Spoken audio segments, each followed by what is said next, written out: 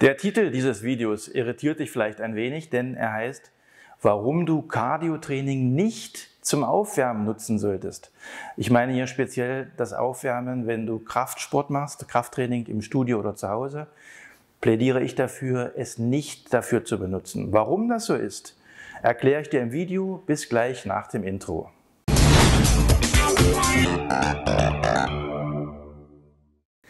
Hallo und herzlich willkommen zu diesem Video. Ich bin Jörn Giersberg, Personal Trainer seit über 25 Jahren und ich möchte heute mal mit einem Klischee aufräumen, was immer wieder, was ich beobachte in Studios, was ich immer wieder raushöre, nämlich das, dass man zu Beginn einer Trainingseinheit im Studio, wenn man Krafttraining macht, vorher sein Cardio-Training absolviert oder sich aufwärmt, etwas umfangreicher mit Cardio. Mit Cardio-Training meine ich so Dinge wie Fahrradergometer, Joggen auf dem Laufband oder auf dem Stepper gehen oder auf dem Crosstrainer. Das ist Cardio-Training, das ist Ausdauertraining. Warum das ein Fehler ist, das ist aus folgendem Grund der Fall. Also, es gibt ja zwei unterschiedliche Belastungsformen. Das ist einmal das Cardiotraining, das ist Ausdauertraining, wie ich schon sagte, und das ist auf der anderen Seite der Kraftsport. Das sind zwei sehr unterschiedliche Belastungsformen, die sich nicht vertragen miteinander. Hier laufen völlig unterschiedliche physiologische Prozesse ab und daher ist es sinnvoll, das zu trennen. Das heißt, idealerweise ist gar nicht in einer, einer Trainingseinheit zu absolvieren, sondern nach Möglichkeit in unterschiedlichen Trainingseinheiten. Du, man könnte jetzt sagen, ja, okay, Jon, ich mache ja, wenn ich mich zehn Minuten aufs Fahrrad setze, jetzt kein ausgesprochenes Cardio-Training in dem Sinn. Da gebe ich dir recht. Klar wirst du durch das Cardio-Training vor den Kraftübungen auch aufgewärmter. Der Körper kriegt eine gewisse Temperatur. Aber trotzdem stoße ich natürlich diese aeroben Effekte schon mal so ein bisschen an. Das heißt, ich stimme den Körper eher auf, dieses, auf diesen Cardio-Bereich ein. Ich möchte aber ja beim Krafttraining genau das andere, in die andere Richtung gehen. Und insofern ist es äh, auch eine Frage der Zeit, die kommt auch noch dazu. Äh, meine Klienten, und ich denke mal, du hast wahrscheinlich auch nicht permanent Zeit, trainieren zu gehen, da ist es wichtig, dass man komprimiert sein Programm durchzieht.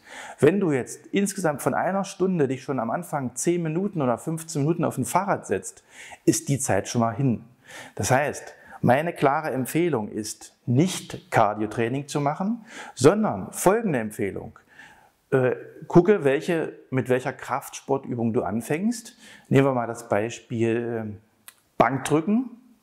Ich zeige dir die Übung mal hier. Dann äh, ist es viel cleverer, dich ein, zwei Minuten aufzulockern. Das heißt, du machst Armkreisen, Schulterheben, Handgelenke ein bisschen äh, kreisen. Also ganz einfache Lockerungsübungen, auch nicht übertreiben. Und dann wärmst du dich an dieser spezifischen Übung auf. Also am Bankdrücken. Das heißt, du steigst mit, mit einem leichten Gewicht ein, steigerst dich von Satz zu Satz höher, guck, dass du nicht zu viele Wiederholungen machst und wärmst dich also ganz spezifisch an der Übung auf, was viel cleverer ist, als sich vorher eine Viertelstunde aufs Fahrrad zu setzen.